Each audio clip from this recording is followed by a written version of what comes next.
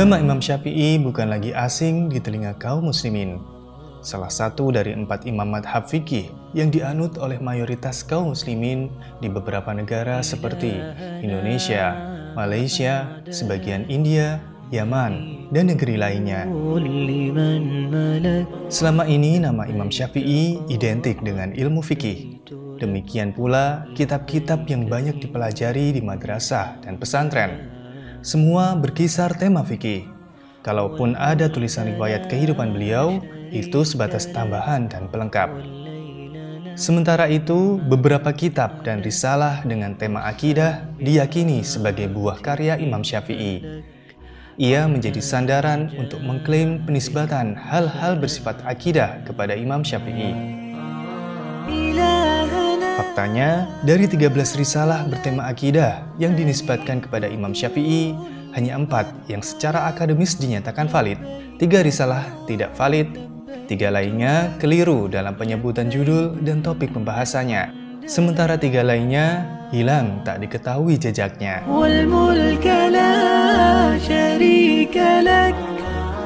Fakta ini dikupas detail oleh Syekh Muhanna Salim Mar'i dalam tesisnya yang berjudul Ar-Rosail wal Masail Al-Aqadiyah Al-Mansubah lil Imam Asy-Syafi'i. Beliau berhasil mempertahankan tesis tersebut untuk meraih gelar magister di bidang akidah pada Universitas Ummul Qura Mekah.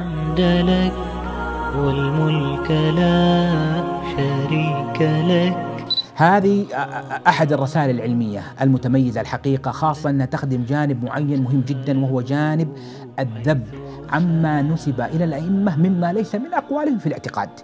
لأنه تعرف أنه كثير من أصحاب المذاهب آه الذين منتسبين للأئمة في الفروع كفروع نسبوا إليهم في الأصول ما ليس من أقوالهم ولا مما آه ولا حتى يخرجوا على أصولهم ولا قواعدهم.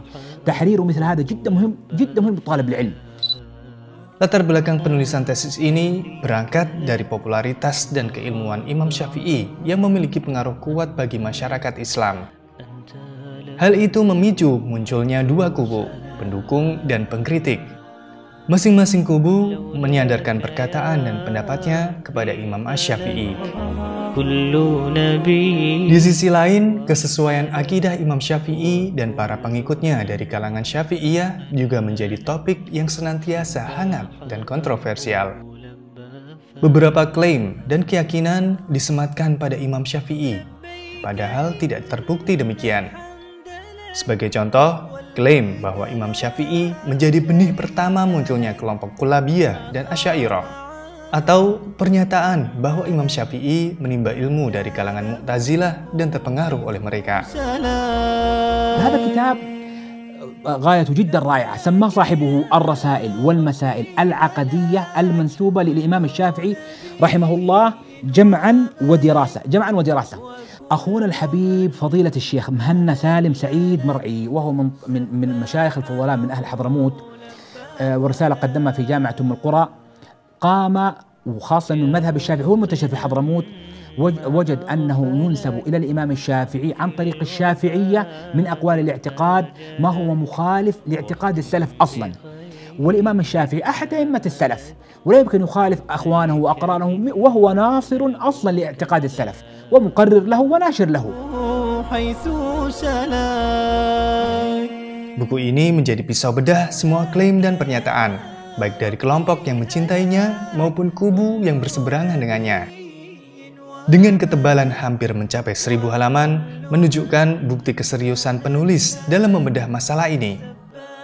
Secara ringkas, buku ini terdiri dari tiga bagian utama selain pengantar dan latar belakang penulisan, yaitu satu, risalah, perdebatan, dan syair-syair akidah yang dinisbatkan kepada Imam Ash-Syafi'i. Dua, permasalahan-permasalahan akidah yang dinisbatkan kepada Imam Ash-Syafi'i. Tiga, risalah-risalah yang ditulis terkait penjelasan akidah yang dianut Imam Ash-Syafi'i.